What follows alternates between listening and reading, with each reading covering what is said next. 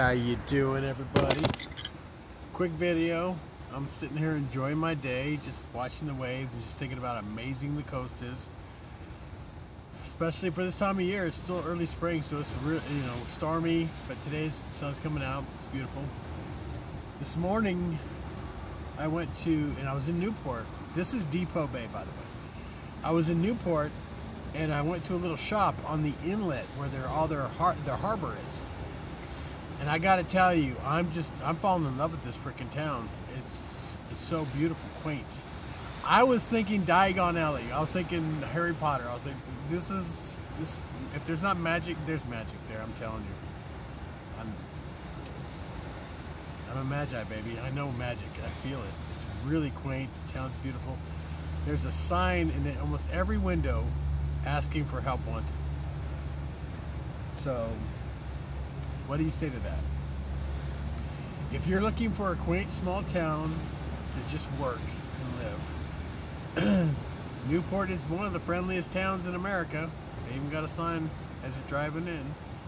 And you can 16 hour parking limit, so if you're living in your vehicle for a minute while you're getting a job and getting a place, and they just bought they just built a whole bunch of new um, low-income housing apartments right outside of town or not it's in town but like right on the edge of town.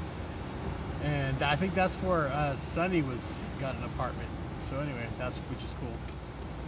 So they're opening they're realizing that they're gonna need more you know housing is ridiculous so. But anyways but yeah I'm gonna actually go apply for a couple places. One there's a there's, I mean, every other shop is a art gallery, or, but this is actually an art gallery, and they were looking for help, so I'm gonna go check that out. I can work in an art gallery. Anyway, plus no mask anymore. Yes. I went walking around in the shops too, and I was like, it's good to see faces, smiling faces. so sick of that whole psychosurgeon look. It's not doing it, babe. So yeah, and the funny thing was when I was I was thinking I, I was trying to sell some of my wands. I need to kind of finish finish a few of them, but I got a lot of them and they're ready to sell. That'd be kind of cool. Go find a shop that has all kinds of cute little, you know, knickknacks and things that they, you know, who knows? Let's see what happens. I mean, five streams of income, right? Different, you know, you gotta hustle, babe. Especially nowadays. So, anyways, that's it. Newport is an opportunity for people that want to work, and they're not. You don't have to wear a mask anymore. And yeah, what else? That's it.